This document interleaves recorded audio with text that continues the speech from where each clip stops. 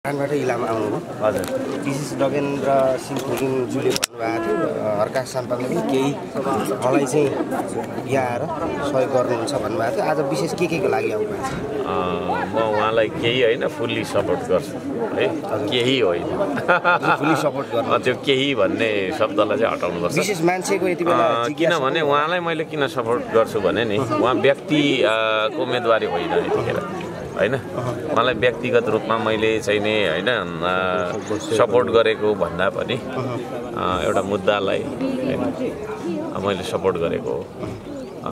र स्वतन्त्र उम्मेदवार भएको कारणले पनि मैले उहाँलाई सपोर्ट गरेको छु। अब स्वतन्त्र मेयर भएको कारणले। स्वतन्त्र व्यक्तिहरू हुँदा हुन् जसले चाहिँ यो देशमा जनताको पिरमर्का जनताको चाहिँ भावना चाहना र आवश्यकतालाई परिपूर्ति गर्नका लागि है कुनै एउटा दलको झोला नबुकिकन जनताको सठिक चाहनालाई चाहिँ नै सम्बोधन गर्ने गरी काम गरून् त्यस्ता खालका मान्छेहरू उठुन् भन्ने म चाहन्छु। त्यसो भएको कारणले गर्दाखेरि पनि उहाँ स्वतन्त्र उम्मेदवार भएर आइ आइदिनु हो। जस्तै इलाममा त स्वतन्त्र अरू पनि हुनुहुन्छ नि? अरू पनि हुनुहुन्छ तर अरू चाहिँ परिपक्व देखिनँ मैले। परिपक्व देखिनँ अब स्वतन्त्र अरू पनि छन् भनेर दुई चारजना मान्छेले समर्थन गर्ने कुरो पनि भएन। र मैले उहाँलाई चाहिँ जे देखेको छु उहाँको चाहिँ नि जित सुनिश्चितै पनि छ। होइन त्यसो भएको कारणले उहाँले चाहिँ जुन मुद्दा उठाउनु भएको छ त्यो मुद्दालाई मैले समर्थन गरेँ हो। भनेपछि उहाँको मुद्दा परिपक्व देख्नुभयो। अरू केही साथीहरू हुनुहुन्छ स्वतन्त्र उम्मेदवारीमै उहाँ आउँदै हुनुहुन्छ। उहाँहरूको मुद्दा त्यस्तो परिपक्व देखिएन। उहाँहरू पनि अब हुन त लोकतन्त्रमा चुन्नु र चुन चुनिनु होइन? दुईवटा चुन्ने र चुनिने दुईवटा अधिकार हुन्छ नागरिकको। कि त भोट लाउने कि त भोट माग्ने। है? अब म यसपालि चाहिँ भोट लाउँदिनँ भोट माग्नेमा बस्छु भनेर भन्न जसले पनि पाउँछ। उहाँहरूले उम्मेदवारी दिनुभयो के अरे त्यो अन्यथा गर्नुभयो नराम्रो गर्नुभयो भन्ने पक्षमा कदापि छैन। तर के चाहिँ छ भन्दाखेरि अब स्वतन्त्र उम्मेदवार भनेको चाहिँ डकेन्द्र होइन सिंह थेगिम लिम्बू जो चाहिँ यहाँ हुनुहुन्छ हाम्रो आदरणीय दाई। उहाँ चाहिँ स्वतन्त्र उम्मेदवार हो क्या? अरूले चाहिँ यसो चाहिँ नि यसो रहर पुरा गरौँ नि त भन्ने खालको पनि होला कतिको होइन। होइन भन्न त कतिको चाहिँ अब अँ, चाहिँ नि के के के के भएको होला? अब त्यो थुप्रै होला कारण एजेन्डा भिजन हाम्रो पनि थियो। पहिचानको मुद्दा हाम्रो पनि थियो। भन्ला नि त फेरि। उहाँमा चाहिँ त्यस्तो के थियो भन्ला? के उहाँप्रति त्यो एउटा जिज्ञासा होला।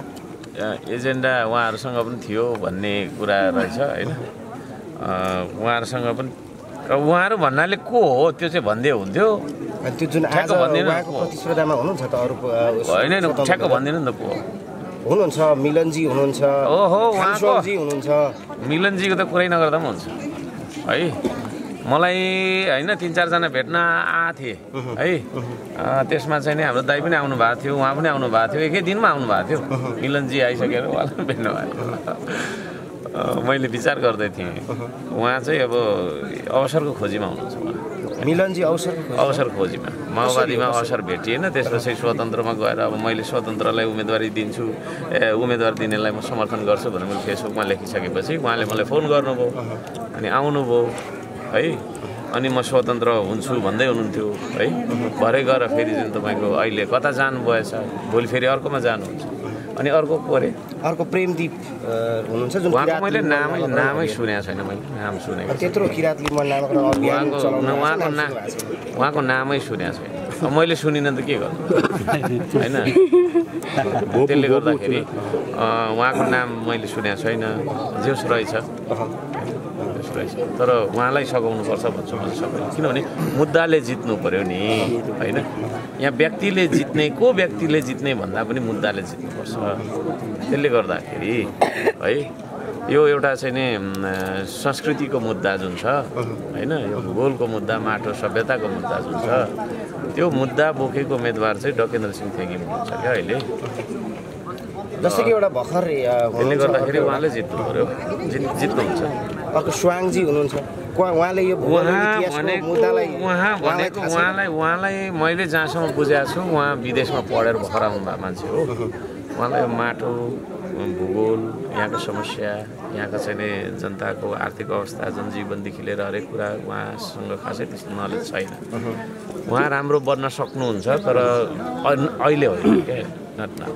After ten years maybe fifteen years अनि यो परिवारवादी उम्मेदवारी दिएर जुन एमाले गरेको छ। परिवारवादी हो? परिवारवादी हो नि। कसरी कसरी होइन त? बाउ चाहिँ नेता अनि नेताको छोरा नेतै हुनुपर्छ है? मेरो बाउले गरेकै कुरा मैले चाहिँ बिउन थाम्नुपर्छ भन्ने होला एक ठाउँमा तर तपाईँको टेस्ट हुनु पऱ्यो नि त सङ्घर्ष खोइ त। योगदान खोइ है? उहाँको नाम मात्रै भर्खर म सुन्दैछु। तर तर- अनुहार त फेस चाहिँ राम्रो ह्यान्डसम रहेछ। होइन मेरो जस्तो चाहिँ नराम्रो चाहिँ होइन रहेछ। ह्यान्डसम चाहिँ छ अब। तर अनुहारले काम गर्ने त होइन। र अर्को कुरा के छ भने मैले बारम्बार भनिराखेको कुरा हो त्यही कुरा ल्याउनु भयो। दलको उम्मेदवार जितेर गएर चाहिँ कुनामा बसेर ढ्याप ढ्याप गर्ने मात्रै हो क्या। एकजना ढ्याप ढ्याप ढ्याप ढ्याप गर्ने मात्रै थपिन्छ त्यति बरु त्योभन्दा एक हातले ढ्याप ढ्याप गर्नुभन्दा कोही कसैले दुई हातले ढ्याप ढ्याप गरेर भइहाल्छ क्या। एकजना ढ्याप ढ्यापे थप्नलाई यत्रो राको होइन? पार्टीको उम्मेदवार गएर के गर्छ र हो? हामीले नदेखेको र अहिले आउँदाखेरि लड्दै आएको होइन बेलचा लिएर आएको छु बाटो पनि बनाउँदै आएको भनेपछि अब यो भूगोलको यो इतिहासको यो है, पैसाको सुन्नु न सुन्नु न। दलबाट उठेर गएको राष्ट्रिय राजनीतिमा तपाईँको छैन पहुँच राख्ने दखल राख्ने मान्छे उठेर जाँदा त तपाईँहरूको बाटो यस्तो छ। है बेलचासँग आएको छु बनाउँदै बाटो। भने है को पो हो त्यो मान्छे त ए हो। ऊ पनि रहेछ भन्ने खालको मान्छे चिन के अरे जितेर गएर के गर्छ? उसले त सदनमा जान्छ माथि अगाडि बस्नु पनि पाउँदैन पछाडि बस्ने है। कहाँ अगाडि त ठुल्ठुलो अनि उहिलेको मान्छेहरू बस्ने हो नि त त्यहाँ त होइन खतरा हुँ गर्नेहरू बस्छ पछाडि गएर माथि गएर ढ्याप ढ्याप त्यति हो क्या। यो माटोलाई मात्रै देश भन्ने हो कि? त्यो माटोमा बस्ने है त्यो भूगोलमा बस्ने मान्छेहरूलाई पनि देश भन्ने हो कि? त्यो मान्छेहरूले बोल बोल्ने बोली भाषा उनीहरूले लेख्ने लिपि उनीहरूको संस्कार संस्कृति उनीहरूको रीति चालचलनलाई पनि देश भन्ने हो कि? केलाई भन्ने हो त देश? एउटा प्रश्न छ।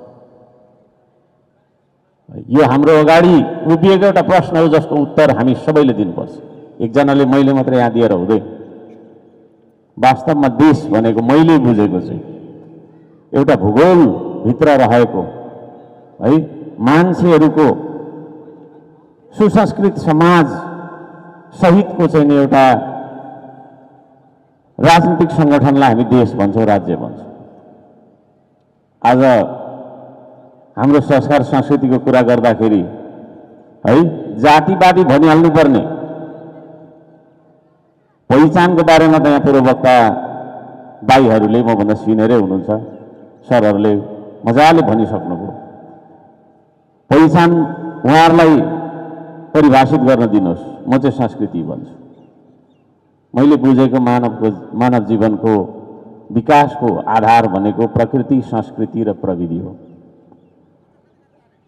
त्यो संस्कृतिलाई हामीले चाहिँ नि कसरी परिभाषित गर्ने पहिचानवादीलाई म चाहिँ संस्कृतिवादी भन्न रुचाउँछु। हरेक समाजको एउटा संस्कृति हुन्छ। संस्कृति बिनाको मान्छेको समूह भिडलाई मात्रै समाज भन्न मिल्दैन। त्यसले गर्दाखेरि यहाँनिर ठुल्ठुला सिद्धान्तहरू प्रतिपादन भएका छन् समाजवादी सिद्धान्त। हरेक कुरा कङ्ग्रेसको पनि समाजवादी सिद्धान्त। कम्युनिस्टको पनि समाजवादी सिद्धान्त। समाजवादी त भन्यो ठिक छ ल ठिक छ समाजवादी भन्यो। तर समाज छ कि छैन त हाम्रो देशमा? संस्कृति बिनाको समाज हुन्छ। यदि संस्कृति बिनाको समाज हुँदैन भने समाजै बिनाको समाजवाद कहाँबाट आयो प्रश्न गर्न चाहन्छु। त्यसले गर्दाखेरि आदरणीय दाजुभाइ दिदीबहिनीहरू पहिचानवादी पहिचानवादी भनेर गाली गर्ने मान्छेहरू पनि धेरै छन्। म चाहिँ संस्कृतिवादी भनेर माया गर्न चाहन्छु। र आज उपरान्त हामीले संस्कृतिवादी भन्ने गरौँ। संस्कृति भन्दा एउटै जातिको मात्रै संस्कृति भनिरहेको छैन मैले यहाँ। हरेक जात हरेक जातिको चाहिँ संस्कृति हुन्छ। उसको धर्म हुन्छ उसको आस्था हुन्छ ती सम्पूर्ण कुरालाई हामीले बचाएर राख्नुपर्छ संरक्षण गरेर राख्नुपर्छ। आज नेपाल होइन? बहुधार्मिक बहुजातीय बहु तपाईँको चाहिँ सांस्कृतिक देश हो भनेर हामीले संविधानमा लेखिरहँदा हामीले संस्कृतिको कुराहरू उठाएर हिँड्न पाउनुपर्छ उठाएर हिँड्न सक्नुपर्छ। त्यसले गर्दा संस्कृतिको कुरा गर्ने बित्तिकै चाहिँ ए फल्ना चाहिँ चाहिँ यस्तो रहेछ सङ्कीर्ण सोचको रहेछ भनेर भन्नु हुँदैन। तर एउटा संस्कृतिवादीले म अनुरोध गर्न चाहन्छु सबैलाई एउटा संस्कृतिवादीले अरूको संस्कृतिको पनि सम्मान गर्न जान्नु पर्दछ है? अरूलाई पनि सम्मान गर्न सिक्नु पर्दछ सक्नु पर्दछ। सबैजनालाई हार्दिक अनुरोध गर्न चाहन्छु। चुनाव भनेको एउटा परीक्षा हो। हामी यस्तो मान्छे बजार जान्छौँ कहीँ कतै आधी केजी टमाटर एक केजी प्याज किन्यो भने बोराभरि छान्छौँ ढाकीभरि छान्छौँ। तर चुनाव आउँदाखेरि आफैलाई पाँच वर्षसम्म शासन गर आफैलाई शासन गर्ने कानुन बना आफ्नो प्रतिनिधित्व गरेर विकास सुशासनका काम गर भनेर पठाउने उम्मेदवारलाई छान्दाखेरि चाहिँ पार्टी भन्यो है झन्डाले आँखा छ्याप्प बाँध्यो ल्याम कि ल्याम भोट चुनाव चिन्ह ल्याहान्यो आयो। एक केजी टमाटर किन्दाखेरि बोराभरि छान्ने नक्कल गर्ने हामीले पाँच पाँच वर्षसम्म यो देशको चाहिँ कानुन बनाउने यो देशको चाहिँ शासन सत्ता चलाउने उम्मेदवारलाई छान्दै गर्दाखेरि हामीले ध्यान दिनुपर्छ कि पर्दैन? पर्छ। त्यसले गर्दाखेरि अत्यन्त विवेकपूर्ण तरिकाले यहाँहरूले चाहिँ नि यसपालि उम्मेदवार छान्नुपर्छ। र मैले देख्दै गरेको उम्मेदवारहरूमध्ये हर्क साम्पाङ त्यसै यहाँ आएको छैन होइन? काम थिएन अनि यसो रमाइलो गर्न आयो भन्ने होइन। धरानपुर महानगरपालिकाको प्रमुख होइन? बिजी त होला म पक्कै। तर म यहाँ किन आएँ त भन्दाखेरि म तपाईँहरूलाई सहयोग गर्न चाहन्छु। तपाईँहरूप्रतिको होइन एउटा माया एउटा लगाव एउटा सरोकार मसँग छ त्यसले गर्दाखेरि म आएँ।